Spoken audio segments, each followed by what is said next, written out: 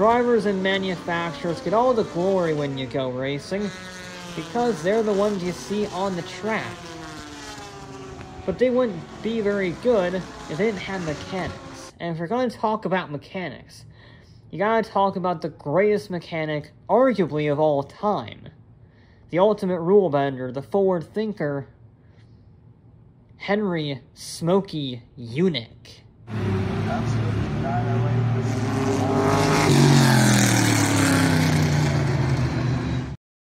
Henry Yunick was born to Ukrainian immigrants in 1923. He grew up on a farm in Pennsylvania, and when his father died, he dropped out of school and went back to work on the farm.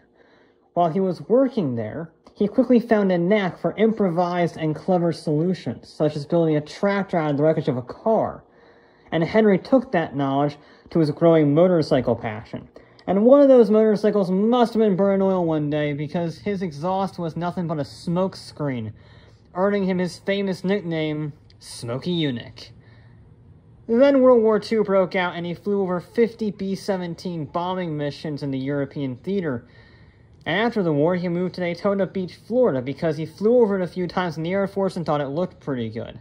And he set up Smokey's best damn garage in town in 1947. Cocky? Yes. True? Also yes and pretty soon his mechanic skills were noticed by a local stock car owner named Marshall Teague, who started Smokey's career with the legendary Hudson Hornets. He started work as a mechanic on Herb Thomas's car, helping him win 39 races and two Grand National Championships between 1951 and 1954. That gave him enough credit to move up to Pontiac in 1959, and it was at Pontiac where he achieved his greatest successes.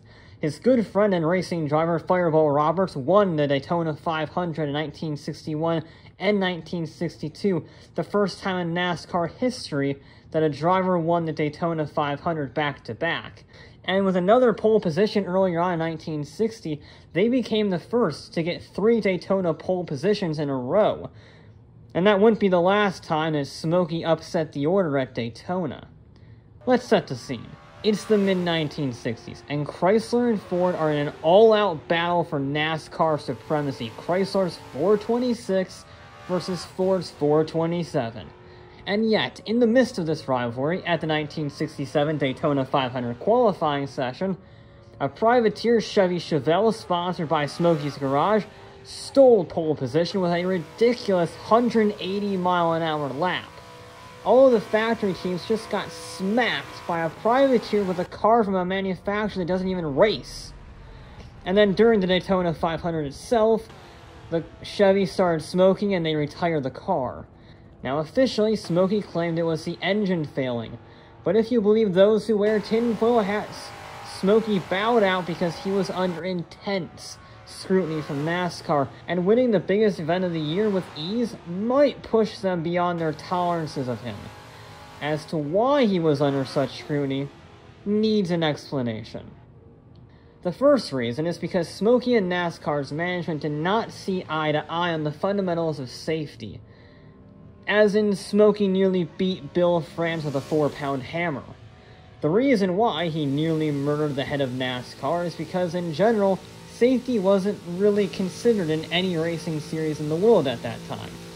But after a violent crash made Fireball Roberts die after 40 days of agonizing pain, Smokey stepped up his efforts to make NASCAR safer, even developing some of the first safer barriers by building walls out of tires and plywood to absorb impacts. But that costs money. And besides, everybody knows the risks, so NASCAR was not in the mood for listening and all of his recommendations were blown off. The other reason NASCAR hated him was his masterful manipulation of the rulebook. When you think of Smokey Yunick, this is what you think. But in Smokey's mind, he looked around the paddock and saw nothing but a bunch of cheaters and NASCAR officials who were either too incompetent or too lazy to do anything about it. So in an act of protest, he went to war. The Chevy Chevelle that humiliated Chrysler and Ford at Daytona was arguably Smokey's crowning achievement. He was, and still is, a underappreciated master of aerodynamics, and the Chevelle reflects that. Now, there were a few Chevelles built, and for the sake of simplicity, we're going to say they were pretty much all the same, despite some minor differences. It's been called a 7 8 scale Chevelle, based on a rumor that he took each dimension of a normal Chevelle and shrunk it to 7 8 scale to reduce the surface area and therefore reduce drag. That is wrong. In a 2019 Amazon Prime documentary, they actually measured the real car, and all the dimensions were pretty much identical. Well, I mean, the ride height and the roof line were dropped considerably. The front bumper was recessed and sculpted into an air dam, and a divot was placed in the roofline to act as a wing. And that's just a start. The panel fitment was so precise that just opening the door scratched the paint. The floor was flat to minimize turbulence underneath the car, and the entire body was offset about 2 inches backwards on the chassis. Now, if you're wondering, A, how the hell did he do that? And B, why the hell did he do that? I'll answer B first and get to A a little bit later. By placing the roof further back, the air pressure going off the windshield is located closer to the center of the car, therefore making it more stable. And all that's just the skin, the internals are equally ingenious. A banking like Daytona puts a lot more stress on the right side of the car than the left. So if you make the car flatter with respect to the banked road surface, it can be a lot more stable. But in order to do that, you have to put as much weight bias as possible on the left side of the car. So that's what he did. Everything was shifted over as far as possible to the left. Even the driver's shoulder was rubbing against the door. But there was a problem. The rules say that the engine must be perfectly between the frame rails. So Smokey shifted the frame rails, and therefore the engine off-center to the left. And going back to part A of that aforementioned question, this was all somehow legal because NASCAR had a rule which permitted that a frame can be substituted from a manufacturer. So, Smokey became a manufacturer and built his own frame and fitted his own body in the proportions of a Chevelle. Yep, the 7-8 scale Chevelle wasn't even a Chevelle. It was NASCAR's first silhouette racer. In many ways, it shares a lot more in common with a modern stock car than an older stock car. It was also so far over the top that as soon as it retired from the race, NASCAR filled in all the exploited gaps in the rulebook. Now, the Chevelle embodies his fight against the establishment, but it was by no means his only trick. He made his windows out of Lexan, which caused his car to be 100 pounds underweight. Weight that he then made up by piling it on G, the left side of the car. Or one time where he built a fuel tank too large for regulations, stuffed a basketball in it, and then inflated the basketball so his fuel tank would be certified as correct when they tested it. And then he would simply deflate the fuel tank to add in more fuel for the race itself. Or during qualifying one time, he had wheel covers on his car, making it much more streamlined and easily take pole position. But this time, nobody complained. In fact, they laughed, thinking he wouldn't be able to change his rear tires. And they were right. So after qualifying, Smokey simply cut off the panels and ran the car normally during the race, starting on pole position. All of this meant he was inspected a lot. And one race, he was handed a list of 9 things to change on his car, a list so exhaustive he couldn't do it in the time frame given. So he turned his car over, shouted over the engine to the dumbfounded inspectors, make it 10, and drove back to his garage. Why were the inspectors dumbfounded? because they were still holding his fuel tank. Turns out Smokey read the rule book and saw that there were no rules about the dimension of your fuel line, only you had to have one. So he made a 2 inch diameter, 11 foot long fuel line that could apparently hold 5 gallons by itself. But eventually, even legends get caught by the law. The restrictions placed upon him and the frequent blow-offs about safety made Smokey leave NASCAR altogether in 1970. So let's shift to that other oval race. The Indy 500. He first competed in 1957 and got crashed into on lap 1. Then in 1959, he got the reverse torque special, another one of his ingenious creations. It was built with the sole purpose of seeing if the direction of engine rotation affected lap times. You see, all drivetrain components rotate counterclockwise for reasons of just tradition. And in theory, if you make those internals run clockwise, the load distribution can be improved on tracks with left-hand corners only, i.e. Indianapolis. Seems like a simple switch, right? Wrong. So very, very, very wrong. Smokey paid Offenhauser an unspecified amount to make a custom reverse rotation engine and then bought specific drivetrain components used in Halibrand front-wheel drive and all-wheel drive racers to get the thing working. Did it work? Yes, but also no. The car finished in respectable 7th place, but it was definitely not worth the exorbitant amount of time and money spent on it. And then just to prove that point, his car won the 1960 Indy 500 while being traditional. But that win didn't stop Smokey from experimenting. In 1962, he mounted a Watson Special Roadster to a wing, and it was by far the best handling car out there, but since people are still figuring out this whole wing concept thing, it added so much drive that it was too slow for Indianapolis. And that's probably a major contributing reason for why Wings wouldn't be seen in Indy until the 1970s. He was so far ahead of his time that they didn't really understand the physics of it. And it was too slow, so people looked at Wings and said, that won't work. You see? We don't need those on our cars. So, ambitious but rubbish, if I can quote my favorite TV show. And now I mean his last big swing at Indy was the Hurst Floor Shift Special, aka the capsule car. Again, thinking back to his time with the Chevelle, the more weight on the left, the more stable the car will be. So, Smokey put the engine and fuel cell where the driver would normally be on an open wheeler, and put the driver in a tiny side pod hanging on for dear life. And at a time where Indy didn't have a fuel capacity limit, that space in the center was much larger than a standard fuel tank, so the car could run the entire 500 miles on a single tank while still having a more consistent center of mass. But the theory didn't really translate to speed and it failed to qualify, bringing his Indianapolis adventures to a rather anticlimactic, if not interesting looking, end. Now, while he was doing everything I mentioned so far, Smokey saw the release of the new 1967 Camaro and thought it was a good fit to, you know, break an FIA time trial and class speed records. And to mess around with Trans Am team, but that comes later. In the meantime, Smokey built a small and big block engine layout for his Camaros, specifically two small blocks making 450 horsepower and one big block making 540 horsepower. And like his Chevelles, they had lowered floor plans, smoother windshields, smooth panel gaps, reshaped fenders, and yes, an acid dipped body. It was not just Penske that did it. Penske was the only one that took it actually racing against other cars, that is a caveat.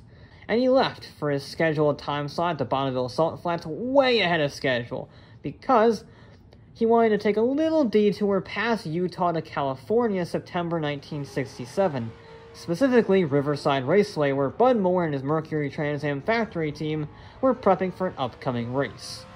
And that Mercury team began noticing some strange events occurring.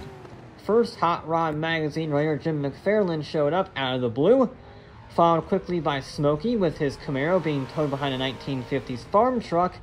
Then a Goodyear representative rolled out four fresh racing tires, followed by an IndyCar driver named Lloyd Ruby and that concoction sent the Camaro out for a quick track session. Now, the Mercury guys thought reasonably that that Camaro was going to be their upcoming competition for the Trans Am season, and they began looking at their watches and saw the warm-up times were about average for their class. Then Smokey gave the signal, and Ruby proceeded to shatter the lap record three times on the trot before pulling into the pits and leaving. The awestruck Mercury team looked at Smokey in horror, thinking that car that just obliterated the previous lap record was their competition. And just to reinforce this point, Smokey loaded up his car, shouted at them, I'll see you sons of bitches later, and went to Bonneville. He didn't have to do that. He went way out of his way. But he did that just to mess with them, and I kinda love that. A lot. And when he raced at Bonneville, Smokey claimed his Camaros broke over 500 speed records over 12 days, with speeds approaching 185 miles an hour in a quote unquote factory car. Is that number really accurate? Who's to say? Smokey has a long history of exaggerating, but definitely some records were set with those Camaros at Bonneville. But it's not just racing that he had a lasting influence he had a lot of innovation besides his safer barriers. The Chevy small block V8 engine family is one of the all-time greats with over 65 million produced in the 20th century alone. But it almost didn't happen. Chevy wasn't going to do any factory racing from the 1950s to 1960s, so all their racing had to go through privateers. Regardless, Smokey went to work with GM's best engineers to develop a V8 to rival Ford in NASCAR starting 1954, and with Smokey's know-how and Zora Arkus Duntov's encouragement, the engine was refined to be more reliable. When it was ready in 1955, the 4.3-liter, four-barrel carb V8 made 195 horsepower in road trim, and it was used in both the NASCAR program and the Bel Air and the Corvette. And from there on out, GM would never be the same as the V8 legacy is still being felt in their cars today. And that was not the last engine that he worked on. As the 1970s wore on, he saw the collapse of the American auto industry and the death of high-powered engines. And he decided there must be a way to produce a fast car while still being efficient. So he started with that. Efficiency. A normal gasoline engine is at best 25% efficient, with 75% being lost to exhaust or heat energy. Standard conservation of energy stuff for all my engineering nerds out there. But, if you could use the heat energy loss to vaporize the very fuel going into the cylinders, it would be a lot more efficient. So, Smokey took a Pontiac Fiero and his Iron Duke 4-cylinder, added a heat exchanger and a homogenizer which is basically a fancy turbo that runs off exhaust gases, but instead of pushing more air into the cylinders, it pushes air through an intake manifold wrapping around the exhaust, which heats the air up to 450 degrees. That air then goes to heat up the fuel, making it vaporize more efficiently. So the 2.5 liter gas vapor engine in his Fiero made 250 horsepower and 250 torque when the normal car could only muster 90 horsepower. So it was twice as fast as a normal Fiero to 60 and still got 51 mpg on the highway. It was a great car, and its numbers were certified by both the EPA and the Big Three.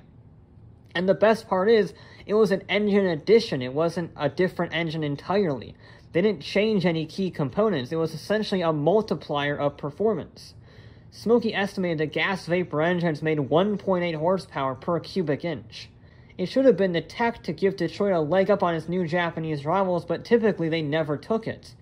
They were stuck steadfast on their existing methods like catalytic converters.